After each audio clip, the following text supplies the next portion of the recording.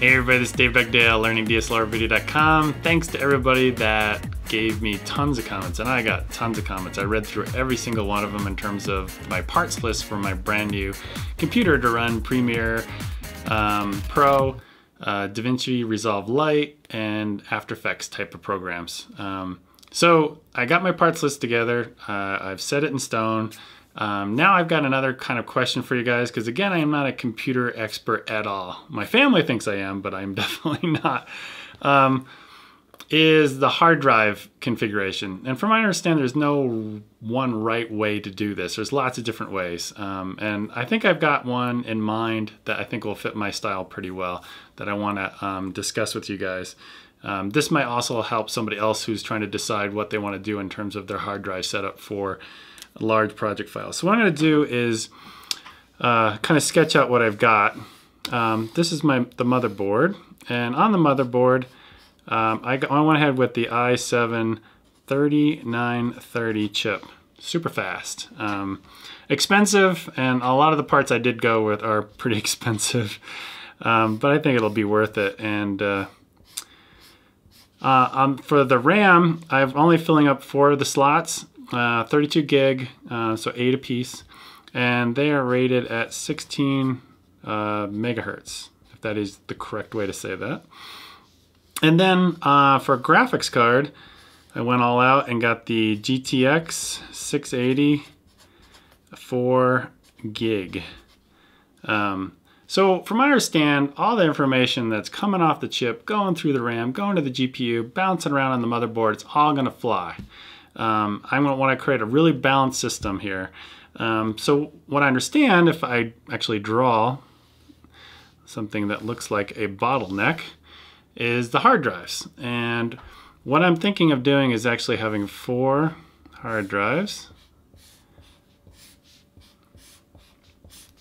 And those hard drives, we'll call this C, D, E, and F. And we'll go ahead and connect them. This will be connected uh, either eSATA 6 gig or 3 gig, depending if it's an SSD. So the first one, my C drive, is going to be an SSD. And it's going to hold all of my, my OS and my programs. So my programs being um, like After Effects, um, Premiere Pro, DaVinci Resolve Lite. On my D drive, and these recommendations are actually coming from um, a gentleman that I've been following for years on the Adobe forums. His name, and correct me if I'm wrong, I'm sorry if I'm going to get your name wrong. I think it's Harm Millaard. I don't know where he's from, um, but uh, he's been very helpful. I even asked him a question or two over the years, and he's been extremely nice and answered a lot of great questions.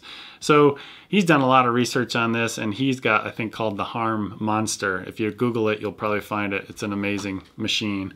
Um, I actually have some similar components to I think what he's got, but in terms of his disk setup. So I'm, let's just talk about the disk setup. Uh, get me back on track here. Um, so my D drive, what he recommends, if you have a four drive setup, and I think he's kind of changed over the years in terms of um, SSDs and H uh, regular hard drives. This will be my three terabyte drive that I currently have, where all, I have all my media and uh, project, and I think he's meaning project files. So that's where all of the, that information is going to be located. And this stuff, once you put it on there, um, it's probably only it's only going one direction. It's going from the hard drive to here. It's just a read-only kind of configuration. Um, the SSD, obviously, up here is reading and writing a lot. Um, actually, I think it's mostly reading. Um, because the SSDs are usually, from my I understand, are around 450 uh, write and probably around 300 read uh, speeds whereas the regular hard drives are I think much slower like around 150 write and maybe 140 read. Um, that's what Harm talks about in some of his um, forum posts. So going to the E drive he talks about having a static if I got this right static page file. And I think that's where you assign your virtual memory uh, within Windows 7. I'm going to use Windows 7 Pro. And the exports.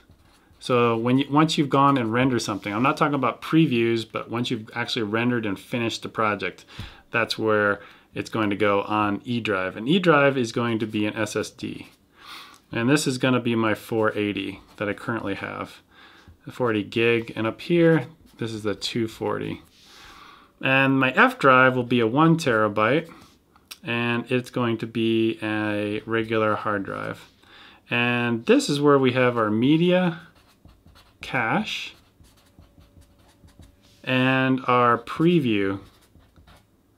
Preview.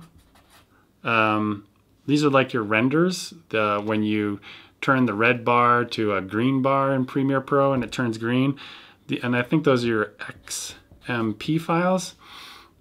Your media cache is kind of like these small little files get um, written to and read from a lot, I believe. Like you got an IMS, a CFA, um, and I think you got a, yeah, that's an audio file. And I think the PEK is actually when it redraws the, um, the waveform in your audio. That's your peak files, I think it's called. So there's lots of small and there's, there's many different files.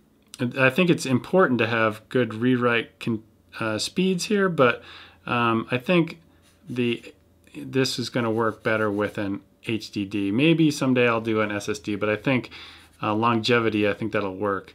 Um, like this SSD right here, SSDs are not known to be the most reliable things. So if I totally lose that, I don't care.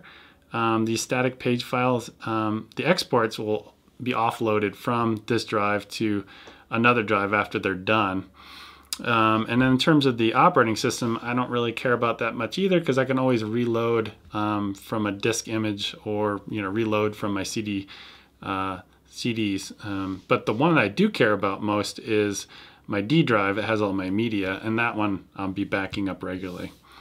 So that's pretty much it. What I'm trying to do again is create a really balanced system.